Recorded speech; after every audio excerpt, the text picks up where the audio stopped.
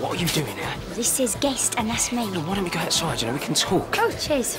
Oh, Stace. You lied to me. No, I don't think you like it. I don't think you feel comfortable. So why didn't you just say that? Well, I didn't want to hurt your feelings. No, you didn't want me here cramping your style and embarrassing you. Why don't you just go? We can talk about this later. No, I'm not going anywhere. I'm here, I'm staying, and I'm going to enjoy myself. So, me there, you there, Abi, Lauren, Dot. Well, is that a good idea? Now we can hardly keep her fingers out of plate. I should be fine, should be fine. Dot, Bradley, Who's there?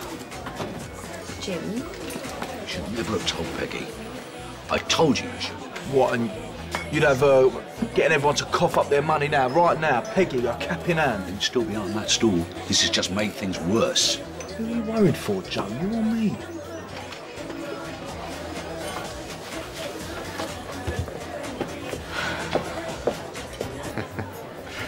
So, what do you do, Stacey? Oh, I work on the markets. Which one? Bridge Street.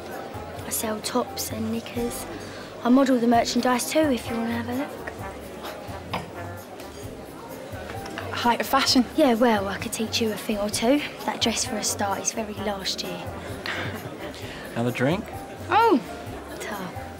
Where's the ladies? I need to powder my nose. Join the club. Hold that, Bradley. Interesting. Yeah, she's just had a bit too much to drink, that's all.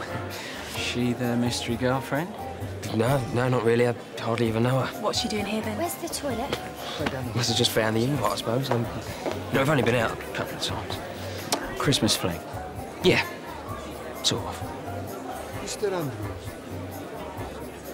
do you know if we are doing any Don't blame you, mate. She looks like a dirty little cow.